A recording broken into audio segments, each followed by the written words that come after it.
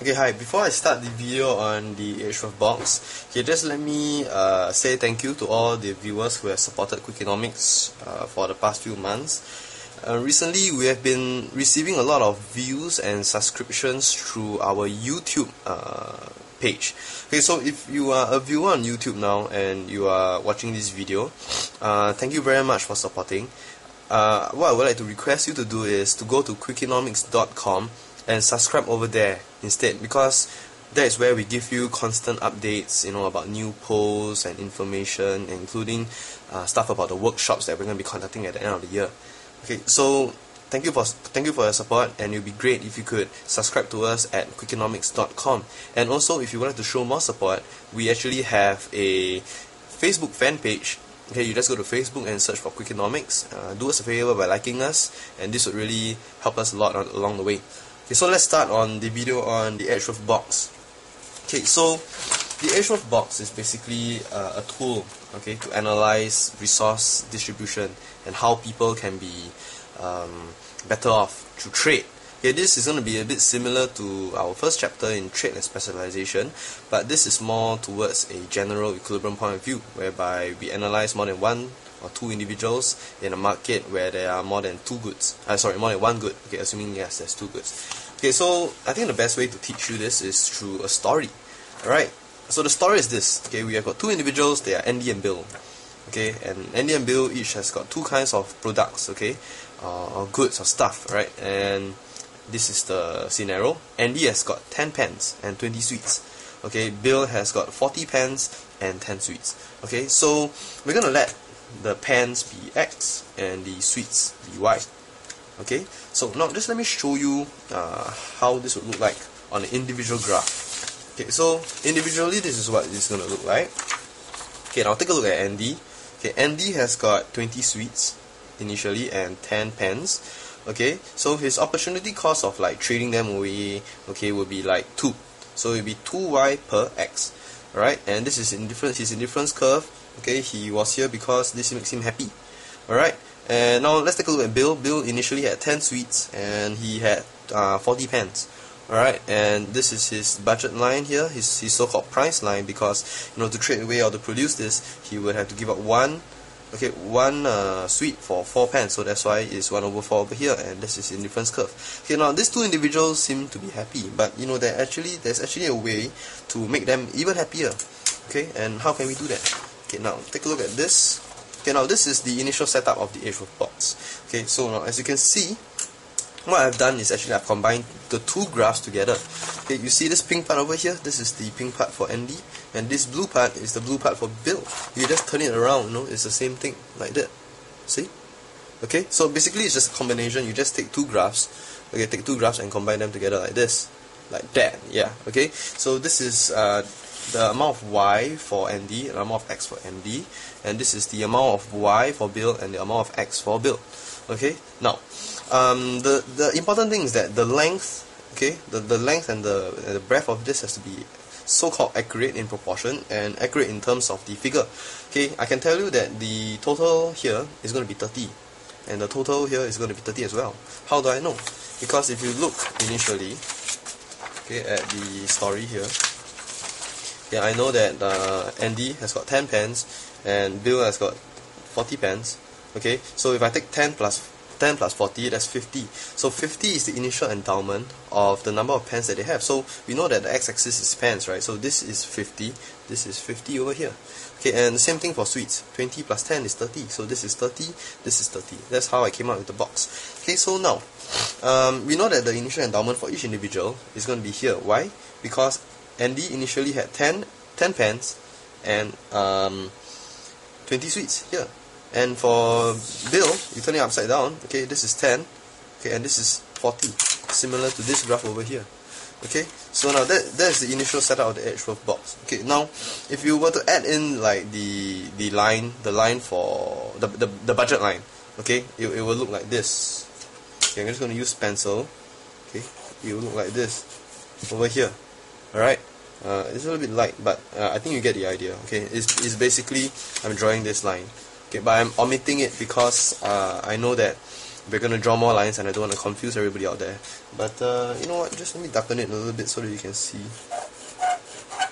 Alright okay? So this is in pencil you won't be too confused. So now we know that this is 2 okay? Now uh, it will be the same for, for, for Bill's side as well. Okay now you will notice that you know these two indifference curves alright there is a little eye in the middle. Okay this like like oval shape you know it looks like a fish. So every time that there's a fish there it just means that okay both parties by trading can make each other better off. Okay so now let me show you what I mean. You see now if this price line here is 2 okay I can actually change alright the I can actually change the, the, the, the price. How? Okay by introducing introducing trade between Andy and Bill okay so what is the terms of the trade? What is the international price? Remember this term? Okay so what if I were to reduce the price from 2 to something else? Maybe uh, 1 quarter okay, or 1 okay so if I reduce this to 1 that means it's going to be 2 times flatter right? Okay so I'm going to use purple and I'm going to draw a new budget line. Okay and this budget line is going to be rotating around the initial point because it's uh, endowment remember okay this we did this in um, chapter 2 okay income in kind. So this is going to be 1 it's flatter. Can you see that Andy can actually move up to a higher indifference curve? Here? See? That means he's going to be more he's going to be well off. You know he's, he's going to be better off. So this is U1A okay so Andy's new indifference curve. Okay looking at Bill you know Bill can actually do the same thing. So now since the international price is 1 okay and, and 1 is going to be steeper than this. So what, what's going to happen is that this is going to rotate upwards like that. Okay four times. It's four times steeper because it's uh, 1 is four times bigger than a quarter. So this is going to be 1 okay so now this is a new budget line. Can you see that if they trade Bill is going to be on a higher indifference curve? U UB1 okay so that clearly shows the benefits of trade okay? But how do we know what is the correct price to trade okay by using the Edgeworth box okay? So now assuming that one is a correct price one is the price that will make both of them well off okay? Actually it is lah okay? But uh, what we are going to look at is Pareto efficiency. What is Pareto efficiency okay? It is the point okay where one individual cannot be better off without making another individual worse off. So Andy cannot be better off without making Bill worse off. So that is Pareto efficiency okay? Take a look at the write-up okay on the blog post so that you will understand more about Pareto efficiency. Okay so now we're going to demonstrate Pareto efficiency. Now we know that the international price is 1 so we're going to rotate this right? Along the initial endowment it's going to be flatter by 2 times.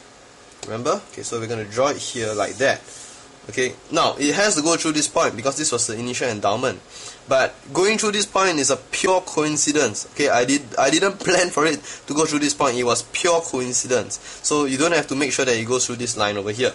Okay so anyways this is going to be 1 and now I'm going to draw my new indifference curves. Okay so if you are still confused at this point just refer back to this okay refer back to this and you just have to imagine that the blue lines are not there. Okay so now we're gonna analyze for Andy okay just imagine that the blue lines are not there. Okay we know that for Andy his indifference curve is gonna move upwards.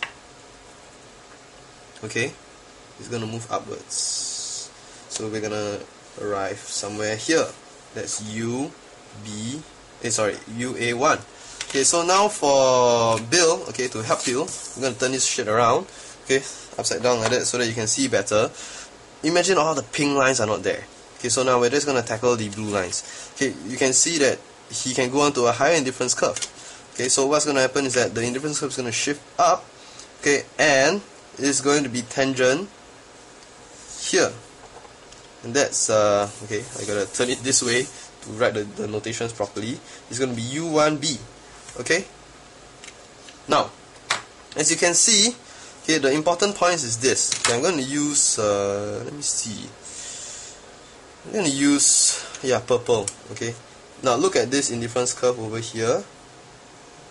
The new one okay basically a new one. And this one. Okay what has happened now is that okay take a look at this. They are like this tangent to one another. So this means that they are Pareto in uh, Pareto efficient. Why? Because um, A cannot move on to a higher indifference curve, okay, and um, and B cannot move on to a higher indifference curve in this point. So for A to maximize its utility, he has go this way. For B to max maximize its utility, he has go this way. Okay, so that is what is uh, Pareto efficient. But you see, in, in, in an Edgeworth box, we can actually have a situation like this, whereby we have got many tangent points along the whole box. Okay, and this line over here is called the contract curve. Okay, the contract curve basically links all this uh, you know, together. Okay, so my question to you is, what do you think determines whether they are at this point, this point, this point, or this point. Okay, it is the initial endowment. Okay, so the initial endowment will decide on which point of the contract curve they're going to be. Okay, uh, by being at this point, does it mean that B is worse off than A? I mean, uh, sorry, A is better off than B a lot more. Yeah, I mean, it's, it's not true, but both of them have maximized their utility through through the sharing of resources, you know, trading. So there's no way that they can move away because uh, this is Pareto efficient. Okay, yeah, it, it may be freaking unfair if let's say you know we have a situation like this. Okay, but who's to blame? it's, it's the initial, it's the initial uh, endowment that determines them to be at this this point over here. You know, at, at this point, uh, Bill will be very sad. Okay, and A will be damn happy, but there's nothing that can be done. At least, okay, B is better off in initial initially uh, than he was because because of this situation over here. Okay, so now that's the Edgeworth box. Okay, and uh, I hope you've learned something about Pareto efficiency today.